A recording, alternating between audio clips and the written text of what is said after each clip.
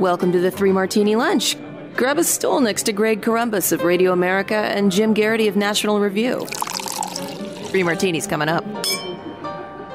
Hey, really glad you're with us for the Wednesday edition of the Three Martini Lunch, an all crazy edition today. And let me tell you, we had to be uh, uh, pretty tough in how we decided the three craziest. We had more than three, uh, and maybe we'll get to the uh, some of the others uh, as the week goes on. But Jim, definitely three crazy martinis today. But we're going to start with a little bit of good news. In fact, it's significant good news, even though it really means nothing's changed. earlier this week, we talked about how Chuck Schumer, in conjunction with Martin Luther King's birthday, was going to press the Senate for a rules change so he could push uh, election legislation.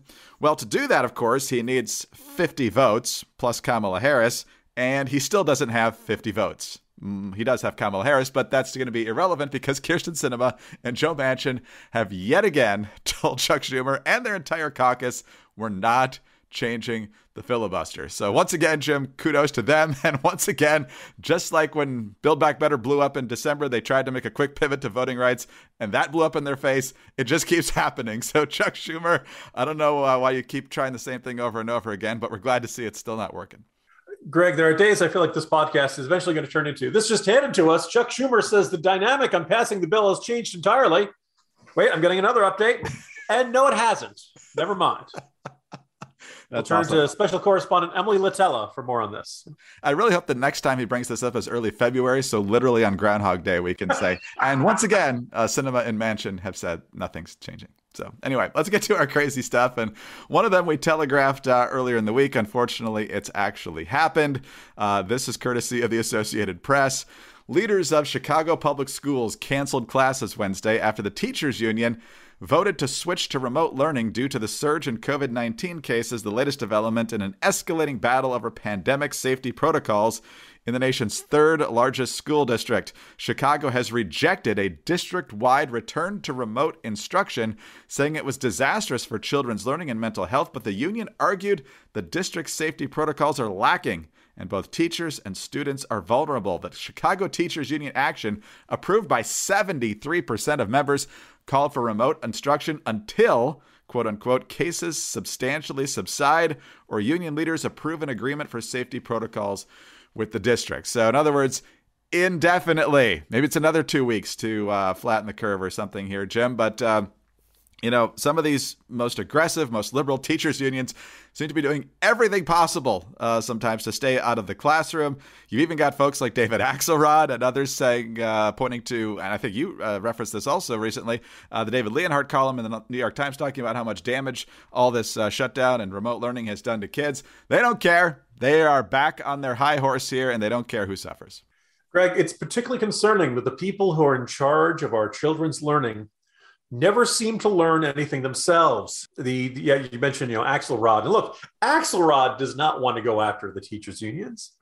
This is you know President Obama's top advisor, right? They got deep roots in Chicago. Axelrod doesn't want to pick this fight. But when he writes, every te- I hope every teacher reads this column from David Leonhardt of the New York Times. What our kids have suffered through long absences from classrooms already has had a devastating impact. This is him like waving it down with a red flag or maybe two torches like John McClane at Dulles Airport on right before Christmas and Die Hard. Like this is a disaster. You're you're heading into a disaster. Stop! Stop!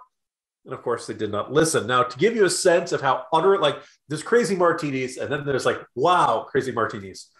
Greg, you and I are about to say some nice things about Chicago Mayor Lori Lightfoot. You are. Now, go ahead.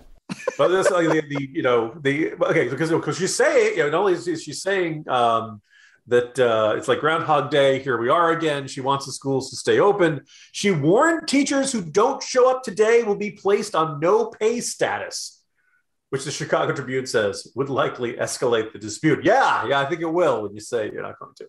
She accused union leaders of politicizing the pandemic. There's no basis in this data, the science, or common sense for us to shut an entire system down when we can surgically do this at a school level. Greg, do you realize how crazy someone has to be for me to say, yes, Lori Lightfoot is the reasonable one here? Yeah, you have to go quite a ways. And, you know, part of it, I think, is they're actually seeing the evidence, but part of it also is they saw what happened in last year's elections, which were fairly limited because it was an odd numbered year. But they see a bloodbath uh, coming forward here if things don't change significantly on this issue. So I think Axelrod is politically savvy enough to see that. Some others are as well, including Eric Adams in New York. He's pushing the union up there to get back into school. Not sure who's going to win that fight, but uh, the unions are not taking the hint at all on this, and so they are uh, grabbing the wheel back of this car. And now you see some op-eds saying, "Oh, this is a chance for Biden to be like Reagan with the air traffic controllers."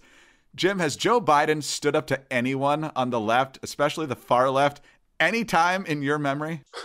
he doesn't stand up to the left. He doesn't stand up to Xi Jinping. Doesn't stand up to Vladimir Putin. You know, doesn't stand up to the Iranian mullahs. Uh, you know, didn't stand up to uh, uh, Mohammed bin Salman. He pledged on the campaign trail he was going to get tough on them. Then he gets into office and drops all of that. Um, I, I strongly here's the thing. I, I would love. Some my colleagues up in New York are observing. Don't get too high on Eric Adams. He has this habit of saying just the right thing and getting you excited. It's like, yeah, finally a Democrat who gets it. He sounds so reasonable. And then following it up with either no action or very mild action. And I would not be surprised. You know, Biden's saying the right things about we want to keep schools open. But if you want to keep schools open, keep schools open. If you, you know, it's that old saying, if you want to take Vienna, then take Vienna. Don't just, you know, talk about how much you want these things to happen. I think this goes for Lori Lightfoot now. Um, I think you then say, all right, look, if you if you don't show up to work at a certain time, you're fired, and I'm abrogating the contracts. Me. I'm gonna, you know, no jury in the, in the country is going to convict me. Uh, no judge is ever going to oppose my, you know, uh, doing what I can to ensure the education of children. You've all had more than a year to get vaccinated. You were bumped to the front of the line. You've had months to get boosted, and this is a milder version of the virus. If you have to be stay home sick, stay home sick. We're not, you know, I'm not saying go to school sick. I'm saying, you know, we're going to handle this on a case by case and school by school basis because we don't want to punish every kid in Chicago because of the fact that there's an Omicron variant going around. This is an enormous opportunity for Democrats if they're willing to say to the teachers' unions, you are being unreasonable and you are not prioritizing your uh, our kids and you're not doing your jobs. So we'll see if anybody follows up on this. Right now, I've seen a lot. I've seen a lot of the right good words, and I want to see the right good actions. Can Biden even fire these people? I mean, it's one thing, air traffic controller is a federal uh, component to that, but uh, the Chicago Teachers Union, that would either be Lightfoot or maybe the governor. I don't, I don't know if there's a federal role for him to even play in this. I don't think there is. I think, you know, I haven't said that. The president of the United States giving a national address, maybe in prime time, saying these teachers should be fired. like, like that would wake people up and get their attention. We'll see. But again, I, I, expect him to at least not publicly put any significant pressure on them because that's just not how Joe Biden operates. If the left tells him what to do, it's usually him who's asking how high he needs to jump. But uh, anyway, if you're a parent in Chicago, if you're one of the 27% of teachers who didn't support this in Chicago, maybe you need a little help staying rational with all these other people just going crazy here. So if you feel like your mind needs a break or tension is uh, always on the rise and you're not sleeping well, that's just many of the ways that stress and anxiety and sleeplessness could be harming your mind and body. So, why not make uh, some small changes to your daily routine that could have a big influence on your mental health? So, you might want to start your new year with Headspace. You know, a lot of us say, oh, we're fine, and we don't really mean it. Fine isn't really an emotion, now, is it? How many times have you told yourself, oh, I'm doing fine, when you've really felt something different? Maybe anger, or maybe sadness, or you're, you feel like you're on your last nerve. Headspace is scientifically proven to help you manage your feelings and your mental health. In fact, a recent study proved that in just two weeks, Headspace can reduce your stress by 14%. Isn't it amazing they can measure stress down to the percent? Whether you want to relieve stress and anxiety or just sleep better or you want to improve your focus, Headspace is your everyday dose of mindfulness for real life. And as I've said many times, hosts at Radio America have used the Headspace app, and our chief of operations has told me on multiple occasions they've slept better, uh, they're more focused, they are just able to perform at a better level than they do when they're not using the app. So, however you're feeling, try Headspace at headspace.com/martini and get one month free of its entire mindfulness library. This is the best Headspace offer available, so go right now to headspace.com slash martini today. Headspace.com slash martini. All right, Jim, yesterday our crazy martini had everything to do with uh, Virginia and the nearly 50 mile stoppage of I 95, 48 miles to be precise. Uh, some tractor trailers had jackknifed, they got in accidents. Other people got in accidents trying to avoid their accidents. And uh, that, in addition to the ice and the accumulating snow, meant everything was snarled for over 24 hours. Tim Kaine finally got to the Senate after 27 hours of being in his car. Same thing for other people. We talked about people. But Greg, I hate to interrupt. We should point out that uh, the Senate had adjourned by the time we got there. not, I'm not kidding. And I, you know, you and I make a lot of fun of Tim Kaine, but I felt really bad for Tim Kaine yesterday. He said he got to have dinner with his son and had a really, really good meal because all he had had was an orange, apparently, that uh, somebody uh, returning from Florida was passing out uh, to, to, stranded motorists. But, uh, you know, the situation. Uh, in Virginia was absolutely unacceptable, which the Virginia Department of Transportation said. Those words exactly. But as we hear so often now, Jim, even though it was unacceptable, there's absolutely nothing that could have been done differently. Now, we talked about Ralph Northam yesterday. Uh, the problems were already uh, a massive mess by pretty early on Monday morning. Nobody heard from Northam until Tuesday morning. He never called out the National Guard. As you point out in the Jolt today, he says he couldn't have mobilized the Guard that quickly, and so he's not sure how they could have been uh, all that useful in this situation. So, what had to happen was state police and, and some others, uh, you know, from each end of the shutdown had to work to open exits and slowly have folks peel off onto surface streets and adjacent highways like US 1 and so forth. Just a total mess, everybody trying to get to where they go. But once again, whether, uh, as you have pointed out and others, it's Afghanistan or uh, couldn't see the variant coming. How could this be possible? It's uh, this was terrible, but there's nothing we could have done better. I have four observations here, Greg, and I'll try not to make it sound like we are two guys in Northern Virginia who spend a lot of time griping about local issues. Uh, the first is the VDOT, Virginia Department of Transportation, says, well, look, we, we, we couldn't treat the roads because it rained before it turned to snow. If we treat the roads, then it rains, it washes all the treatment away and doesn't do any good and ends up wasting. Okay, that, that all sounds reasonable to me. I do note that, you know, probably by, I mean, I was up working on the jolt by 6 a.m. and I think it started, you know, uh, uh, snowing by like seven or eight once it turned to snow, you could go out and treat the roads then, right? And I don't think it was really snow, raining that much before it really turned to snow. Um, the other thing which is worth noting is you're hearing this description of how bad this was weather related. It stopped snowing by like, I don't know, between one and two on Monday. Yeah. And the, the, the so it really wasn't a weather issue. There was some freezing and, and obviously jackknifed, jackknifed tractor trailers that would started this whole mess. But it really wasn't like this constant blizzard coming down or anything. But the skies actually kind of cleared up by the afternoon of Monday, and it took an entire 24 hours before they could actually get this uh, this whole you know 56 mile stretch backed up. Uh, the second issue is uh, so the first thing is like if you you know if you couldn't treat the roads ahead of time, okay, it, treat them when you can. Uh, it certainly seemed like they didn't do much treating at all. Second thing is on the National Guard um, the claim, well, they couldn't, we wouldn't have been able to mobilize for 12 to 24 hours. Look, I realize the National Guard, they're not, this is not a full time, you know, troops in, in, in barracks sort of thing on standby, ready to go.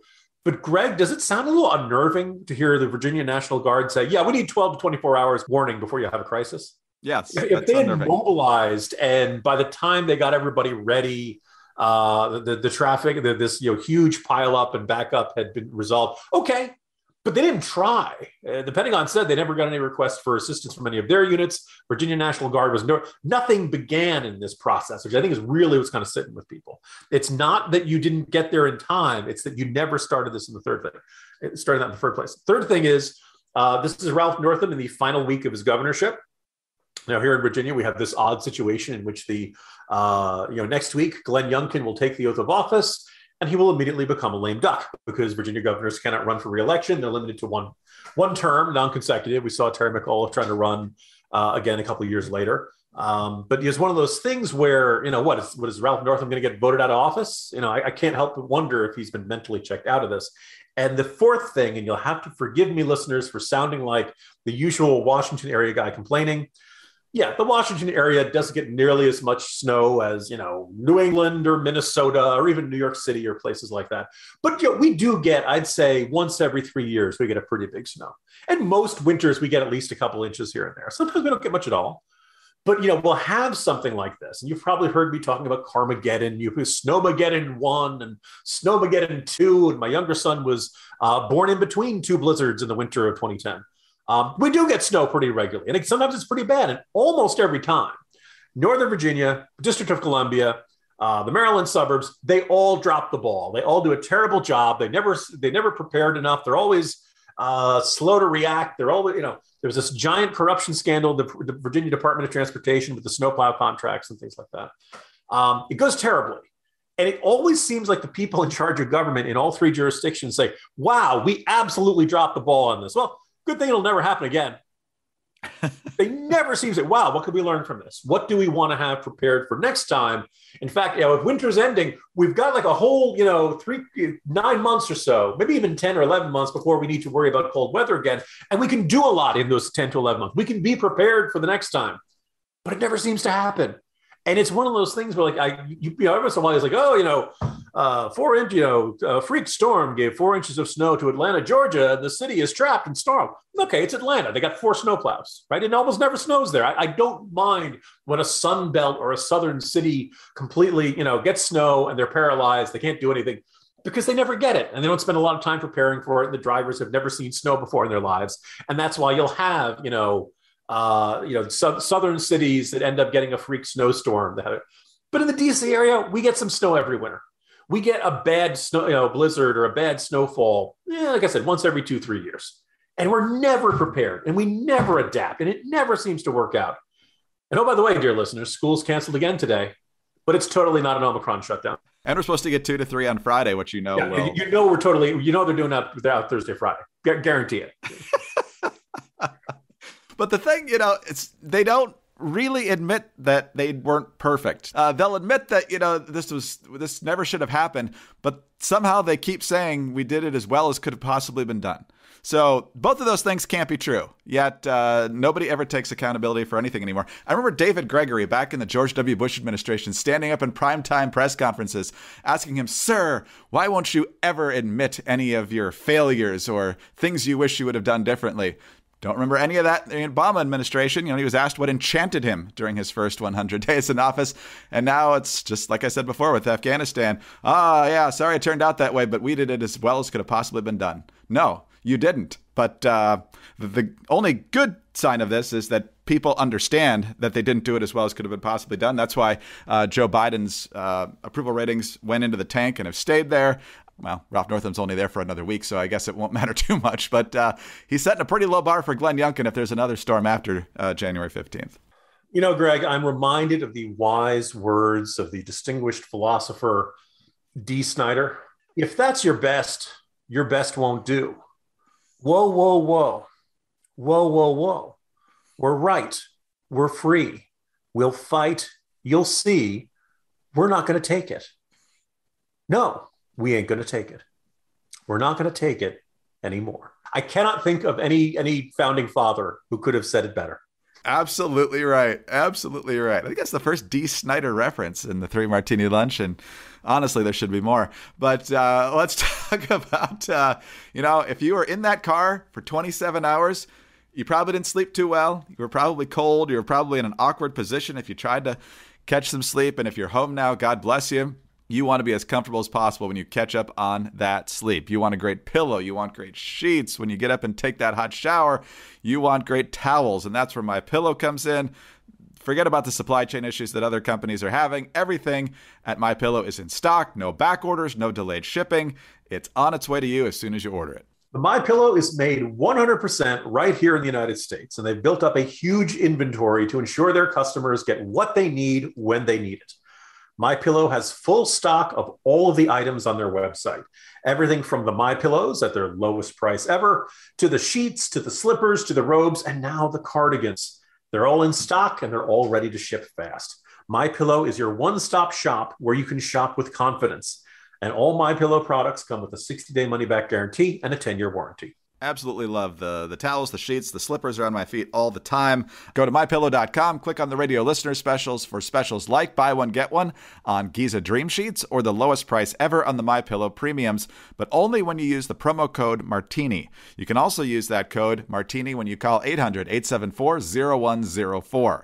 Don't miss the sale of the year. It's mypillow.com promo code Martini or call 800-874-0104. Sleep better with mypillow.com.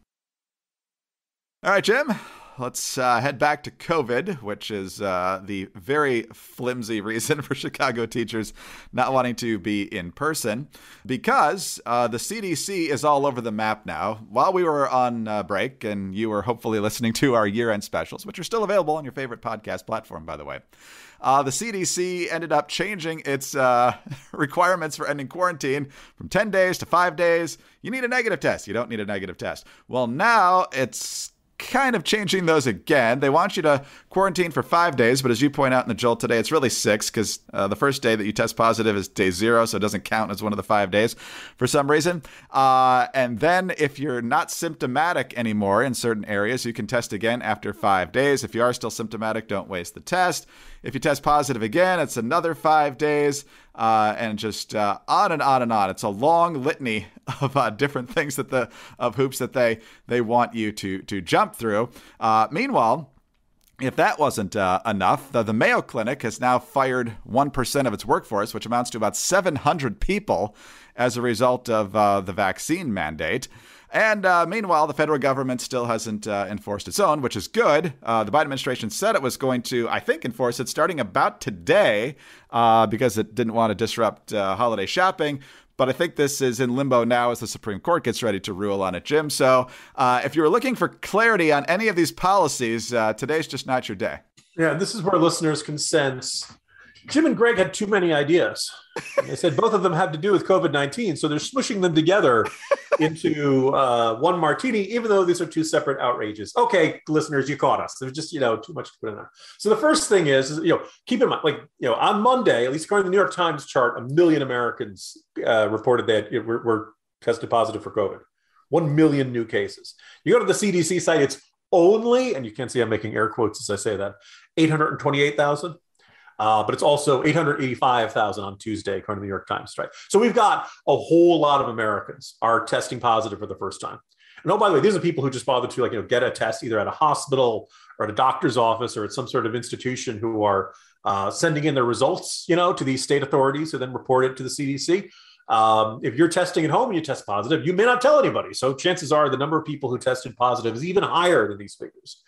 So a lot of people are saying, ah, you know, guy, I tested positive. What am I supposed to do now? Well, the first little surprise is that if you test positive and the CDC says, oh, you know, isolate for five days, the day you test positive does not count as a day. You know, the, you know, in British buildings, you say, "Oh, it's the first floor, and it's not the it's not the floor you entered the building on. Right, it's the ground floor." You they start counting at zero effectively. The day you test positive or the day you have symptoms, that's day zero. It's the day after it's day one. So really, when they say isolate for five days, they really mean six.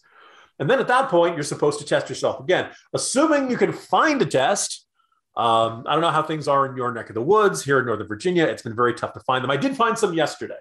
Uh, and I want to take a moment to really laugh at the Walgreens guy behind the counter who was absolutely convinced that I was in some plot with the woman in front of me to get more tests than I was allowed to get.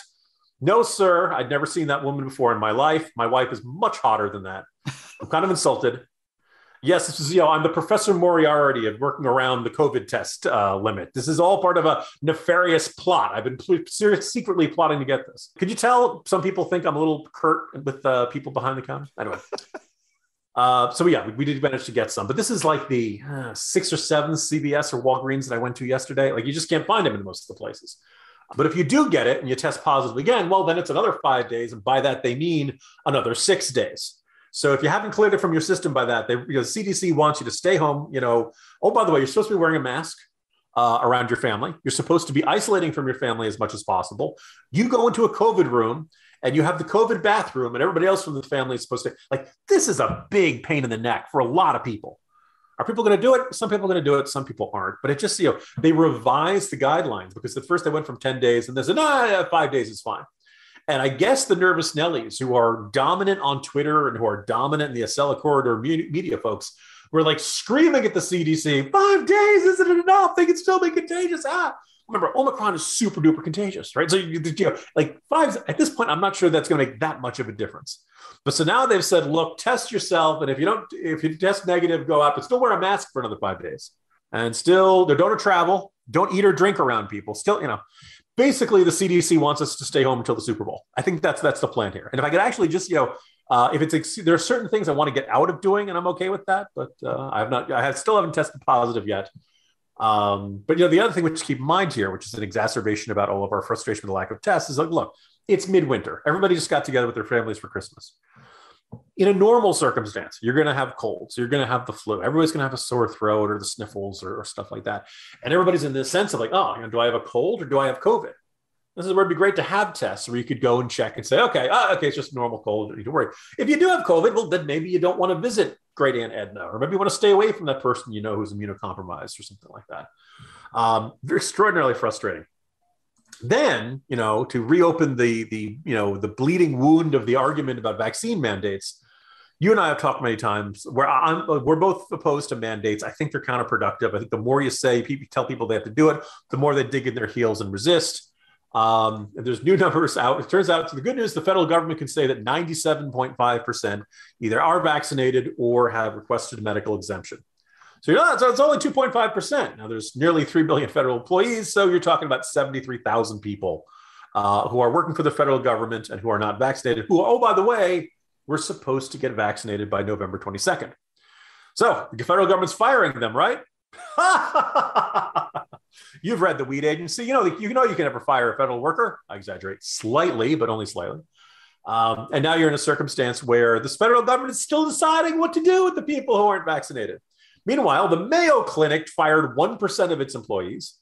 Remember when we loved first responders? Remember when doctors and nurses were the heroes of this pandemic and they were the best and they never got appreciated enough and we're banging the pots and pans at night. Oh, they're the best.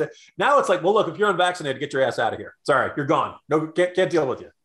Um, it's a real, I, I, I am not a fan of mandates, but I think everybody could agree, even if you're pro mandate, that it is ludicrous to have a mandate for private employers while there's no actual enforcement of the federal government mandate on its own employees.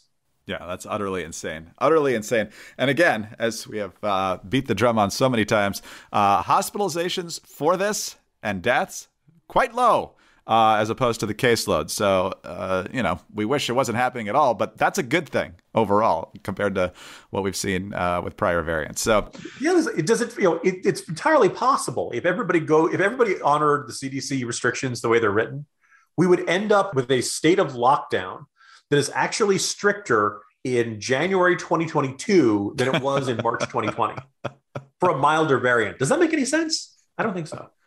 Well, the good news, Jim, is that after Sunday, the Bears and Jets can quarantine for six months and nobody's even going to know. Yeah. They, well, very, very, well, well said because, you know, it's sometimes it's kind of hard to tell when they're not quarantining. at minimum, they social distance for the the cornerbacks and safeties are, are social distancing from opposing receivers. They're always at least six feet away. Amazing! What a year and what a start to this year, Jim. Always fun. Uh, let's do it again tomorrow. See you then. See you tomorrow, Greg.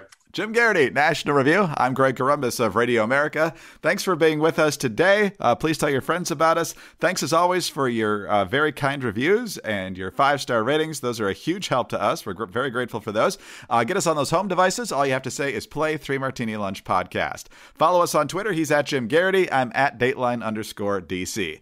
Have a great Wednesday and please join us Thursday for the next Three Martini Lunch. We are living in difficult times where people fear having thought provoking conversations about pressing issues. And although we're in the midst of an information explosion, there are a lot of forces aiming to distort what's true. I created The Bill Walton Show to provide a forum for in depth, thought provoking conversations with leaders, artists, entrepreneurs, and thinkers. Please join me at thebillwaltonshow.com to explore what's true, what's right, and what's next.